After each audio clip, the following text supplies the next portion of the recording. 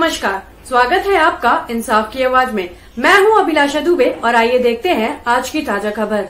जमशेदपुर के कासीडी की एक महिला द्वारा अध्यक्ष सचिव महोदय पूर्वी सिंहभूम जमशेदपुर को एक पत्र सौंपा गया, जिसमें उसने अपने पति के खिलाफ कार्रवाई करने की मांग की है।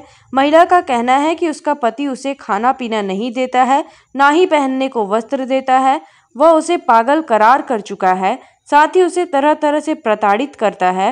जिससे परेशान होकर उसने पूर्वी सिंहभूम के अध्यक्ष सचिव महोदय से कार्यवाही करने की मांग की है।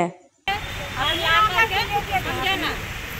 ला करके अपना भागना अनिल का साथ बोल करके उन लोग का भागना से ला के मेरा घर में बोलबम में ना बोलबम जा रहे जा रहे बोल बोल के? छोड़ दिए उसके बाद जब हम लोग बोले कि लेके जाइए तो बोलता हम नहीं रखेंगे तुम्हारी बहन पागल। इसको हाँ काके हॉस्पिटल लेके इलाज कराओ पूरा साथी है वाला। हम लोग मेरा नाम पूर्णश्री पासवान है और मेरी बहन पागल नहीं है।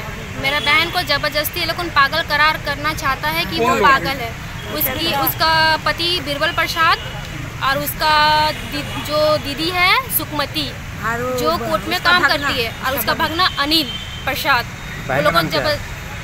बहन का नाम क्या बहन का नाम सुकमती देवी है। अब कहाँ रहती हैं? हम बिरसा नगर जोन नंबर चार में रहते हैं। शादी कहाँ की? सुखमती कुमारी कौन शादी? बहन का शादी कहाँ की? काशीडी में शादी दिए थे। बारीडी में शादी के काशी काशीडी में ससुराल है बायडी में उसका मायके है। खबरों में फ़िलहाल इतना ही कल फिर हम हाजिर होंगे एक नए समाचार के साथ। तब तक के लिए धन्यवाद।